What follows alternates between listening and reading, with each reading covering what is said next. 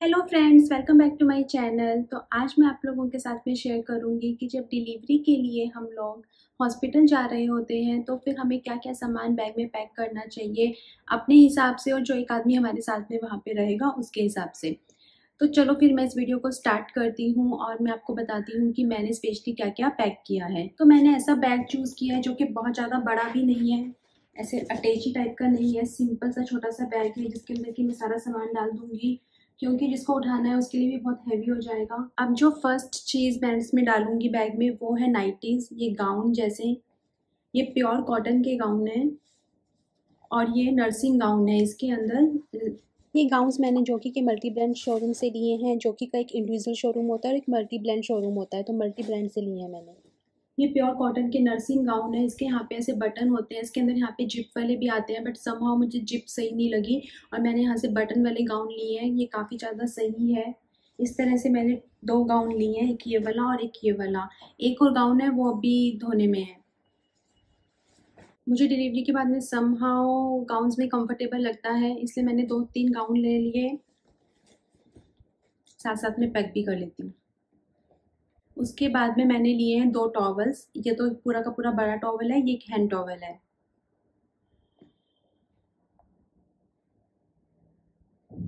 ये सर ढकने के लिए एक दुपट्टा लिया है। डिलीवरी के बाद में ऐसा कहा जाता है कि आपको अपना सर कवर करना चाहिए।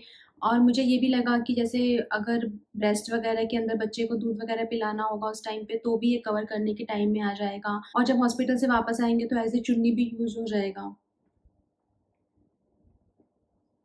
उसके बाद में मैंने ये एक ड्रेस ली है जो मैं जब हॉस्पिटल से वापस आऊँगी, उस टाइम पे ये वाली ड्रेस पहनूँगी मैं।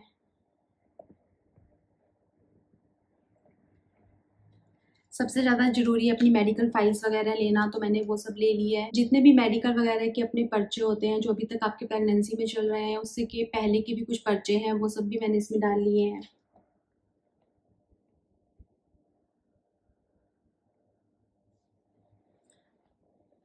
अब मेरे हस्बैंड मेरे साथ वहाँ पे होंगे तो मैंने उनके लिए एक पिलो लिया और एक चादर लिया।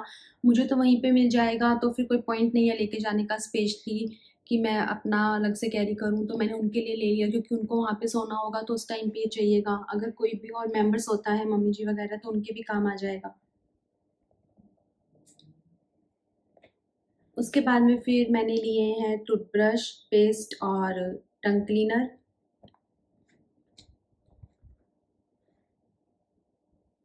comb lip balm moisturiser और एक ये वैसलिन, इसके बिना मेरा कुछ नहीं होता। फिर मैंने ये लिया है एक नारियल का तेल और एक ये शैम्पू, हेयर रबर्स।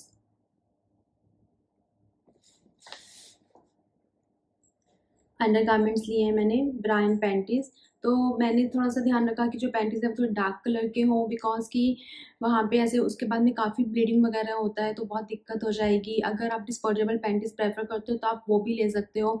बट मैंने तो यही लिया है डिस्पोजेबल पैंटीज़ मैंने लीज़ा के टाइम पर ट्राई किया था, बहुत ज़्यादा अनकम्फर्टेबल होती हैं वो, उसमें कॉटन भी नहीं होता है. तो बहुत ज़्यादा चुपती हैं वो साइडों से तो मैं तो प्रेफर नहीं करती हूँ।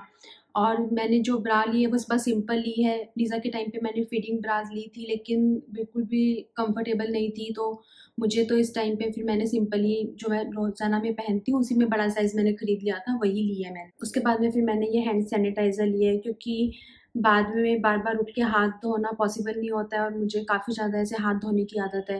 तो मैंने सोचा कि उतनी बार तो ऑफकोर्स मैं इससे हाथ नहीं धोऊँगी बट जहाँ जहाँ पे ज़रूरी होगा वहाँ वहाँ पे इससे हाथ धोऊँगी। उसके बाद फिर मैंने ये लिया है हिमालय के वाइप्स लिए। हैं मैंने फेशियल वाइप्स की फेस वगैरह को पहुँचने के लिए या फिर हाथ वाथ को पहुँचने के लिए मैंने वाइप्स लिए। उसके बाद में मैंने ये पैड्स लिए हैं। तो क्या होगा कि स्टार्टिंग के अंदर तो वो लोग ही देंगे, क्योंकि थोड़े बड़े पैड चाहिए होते हैं स्टार्टिंग में, उसके बाद में फिर जब तक तीन चार दिन हो जाएँगे तो उसके बाद में फिर ये सब पैड काम आते हैं। तो इसलिए मैं ये बहुत ज़्यादा नहीं कैरी करूँगी चार पाँच ले लूँगी बस। उसके अलावा फीडिंग पिलो भी एक लिस्ट में था, जो काफ़ी लोगों ने बोला कि ज़रूरत होती है वहाँ पे, लेकिन मैंने नहीं लिया। क्योंकि मैं तो नहीं पिलाती हूँ। मैंने रीज़ा के टाइम पे भी फीडिंग पिलो यूज़ नहीं किया था और इस टाइम भी मैं कुछ श्योर नहीं हूँ कि मैं यूज़ करूँगी। तो मेरी एक फ्रेंड है, उसका छोटा बेबी है तो मैं एक बार उससे वो पिलो लेके आऊँगी और थोड़ा ट्राई करूँगी। अगर मुझे कम्फर्टेबल होगा तो मैं फिर परचेज़ करूँगी। अभी तो मैं परचेज़ नहीं कर रही हूँ। और जब भी आप ये पैकिंग करते हो तो फिर आप थोड़ा ध्यान रखना कि जो बैग है वो ओवर एक्सेसिव भारी भी ना हो जाए। सिंपल सा हैंडी बैग रखना ताकि उठाने में भी इजी हो। फिर थोड़ा बहुत बच्चे का सामान भी रखना पड़ता है। वो बच्चे के लिए मैंने क्या क्या पैक किया है, वो मैं ऑलरेडी आपके साथ में शेयर कर चुकी हूँ तो आई होप कि आपने वो वीडियो देखा होगा। और अगर आपने वो वीडियो अभी तक नहीं देखा है तो उसे ज़रूर देखना, आपके बहुत काम आएगा। तो मुझे ऐसा लगता है कि मैंने आपके साथ में सब चीज़ें शेयर कर दी हैं। अब उसके बाद में मैं इसके अंदर एक दो चीज़ें और डालूँगी, जैसे कि चार्जर और मोबाइल, वो तो अब एंड टाइम पे ही डलेंगे।